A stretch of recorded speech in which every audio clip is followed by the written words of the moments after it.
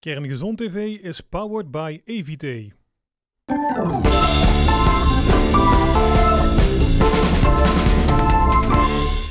Hartelijk welkom vanaf Recreatiepark De Leistert voor een nieuwe aflevering van Kerngezond TV. Kerngezond staat voor gezond bewegen, gezonde voeding en gezond gedrag. Uiteraard met inspiratie van een topsporter. En deze keer is dat tophandbalster Loes van der Wal uit Roggel, spelend in de Bundesliga. Maar zoals jullie gewend zijn, eerst het kerngezonde nieuws. Hoe is het om te leven met een beperking? Deze vraag stond centraal tijdens de derde activiteit van Kerngezond voor de groepen 5 en 6 van basisschool De Neerakker in Heidhuizen. En bikester Gwen van Rosmalen kwam op bezoek. Zij heeft bij een aanrijding een dwarslesie opgelopen en kan haar benen niet meer bewegen. Gwen vertelde uitgebreid over wie ze was, over haar beperking en over hoe ze hiermee omgaat. Daarna mochten de kinderen vragen stellen en konden ze zelf ervaren hoe het is om een paar simpele alledaagse handelingen te moeten uitvoeren als je een beperking hebt. Zo legden ze geblinddoekt een parcours af, probeerden ze te schrijven met hun voeten en probeerden ze zich aan te kleden met slechts één hand. Ook Antoinette Driessen, oefentherapeute van Cesar Praktijk Driessen, was aanwezig om alle kinderen een zit met pit diploma uit te reiken. In de afgelopen tijd hebben de kinderen diverse lessen gevolgd om hun zithouding te verbeteren. En tot slot werden Valentijn en Sterren in het zonnetje gezet, want zij stuurden een kerngezond filmpje in en die video werd bekroond tot de mooiste van deze maand.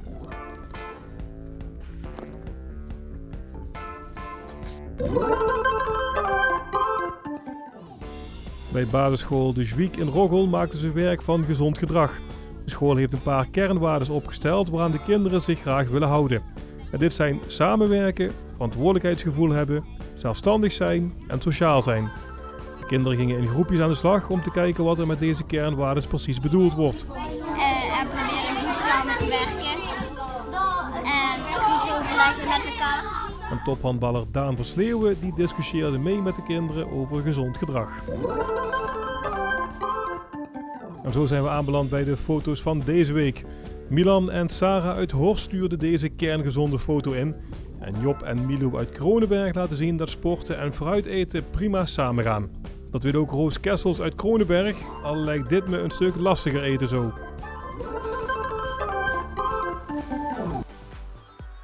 Elke week stellen we enkele kerngezonde vragen aan een topsporter. En vandaag is dat. Hallo, ik ben Loes van der Wal. Ik ben 22 jaar oud en ik woon in Roggel en mijn sport is handbal. Loes, wat was je mooiste moment tot nu toe als handbalster? Ehm, toch de periode met Jong Oranje, alle WK's en EK's die we mee hebben mogen doen. Ehm, we hebben brons met de studenten gehaald eh, in, eh, in Europa en eh, de halve finale van de Challenge Cup, Europa League is dat, met de Handbalacademie. Ja, je bent pas 22 jaar. Eh, wat is je droom nog? Mijn droom is om de Champions League te handballen en eh, in het grote Nederlandse team en eh, dan hopelijk naar de Olympische Spelen. Hoe heb je naar de afgelopen Olympische Spelen gekeken? Ja, dat is echt super vet, super tof. Want met die meiden, heel veel van die meiden heb ik ook getraind en mee gewoond op uh, Papendal, op de Handbalacademie. Dus het is echt een super, super prestatie die zij neer hebben gezet. En ik denk dat, dat er nog veel mooie dingen voor die groep gaan komen. Ja. En blij dat handbal wat meer gaat leven. Je handelt nu eh, in Duitsland bij Tussen Lindfort. Waarom Duitsland? Ja, ik wil eh, ook de taal leren kennen en handbal leeft daar veel meer. In Nederland heb ik, ja, ik denk zo'n zeven jaar al op het hoogste niveau gesport. En ja, dan merk je wel dat het, eh, dat het wat minder uitdagend is. En eh, ja, Duitsland is een mooie nieuwe stap voor mij geweest. Ja, Duitsland is eh, voor veel mensen het handbalmekka. hè? Dat is eh, Ja. de top van de wereld. Ja, ja daar, zit, eh, daar zitten de tribunes veel voller dan hier in Nederland. Ja. De trainingsweek voor jou, hoe ziet die eruit? Hoeveel uren maak je? Wat train je? Eh, ik train bijna iedere dag. Ehm, eh, ik ga drie keer in de week naar Duitsland en dat is dan een uur heen rijden en een uur terug. Dus daar ben ik de hele avond wel eh, aan kwijt. En dan doen we dan eerst een uur krachttraining en daarna een uur bal, baltraining. En op maandag en vrijdag ga ik zelf naar de fitness en dan doe ik mijn eigen krachttraining. Hoe, Duitsland, is dat heel anders ook in de omgang met collega's? In Nederland vaak allemaal vriendinnen. Is dat in Duitsland wat zakelijker? Nee, ja, het team waar ik nu zit, zijn het ook heel veel vriendinnen. Ik moet alleen nog wel een beetje mijn Duits bijspijkeren. Dat is nog niet helemaal top, maar dat komt vanzelf. Maar we hebben gewoon een heel leuk team en we zijn allemaal vriendinnen van elkaar. Wat is jouw favoriete gerecht dan? Is dat een Duits gerecht? Is dat worst? Nee, nee, geen worst voor mij, nee. Eh, ik vind een eh, pasta salade heel lekker met kip erbij. Ik eet heel veel kip en eh, veel sla. Hoe belangrijk is school voor je geweest? Ik, eh, ik ga nog steeds naar school eigenlijk, dus het is heel belangrijk. Een diploma krijgen en later een goede baan, dat is gewoon heel belangrijk. Dus ik doe dat in combinatie met topsport, met het handballen. Wat vond jij op de basisschool dan je leukste vak? Ja, ook gymnastiek eigenlijk.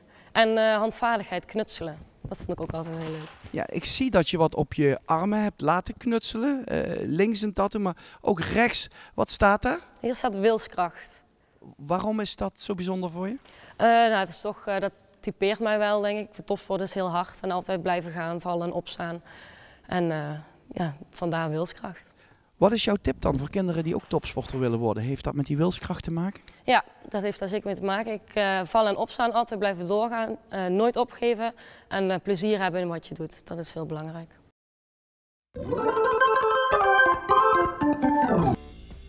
En zo komen we bij de prijsvraag over Loes. In welk land handbalt zij op dit moment?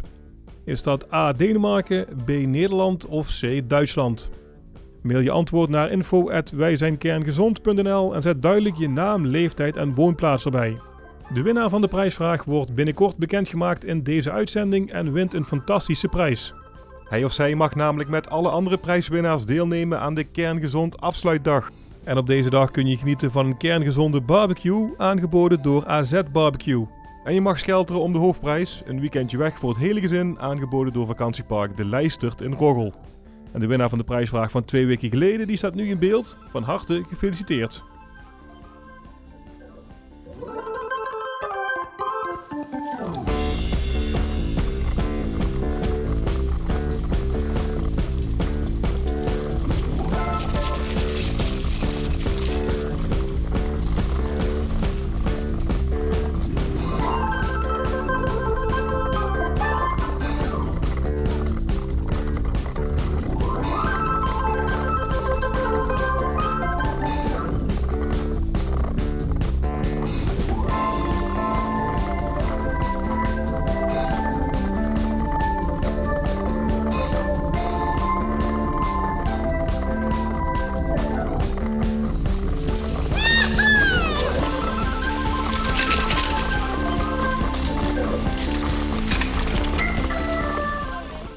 Uiteindelijk heeft Maurice de langste adem en wordt Loes van de Wal verslagen. De tijd van Maurice is 52 seconden en 11 honderdste.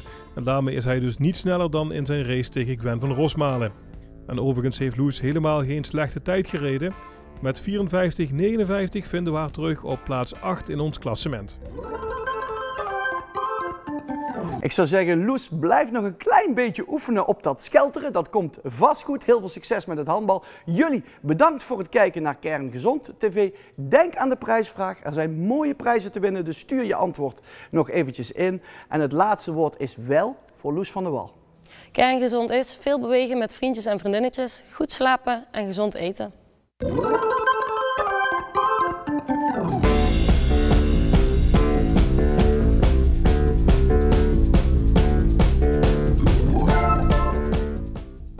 Kerngezond TV is powered by EVT.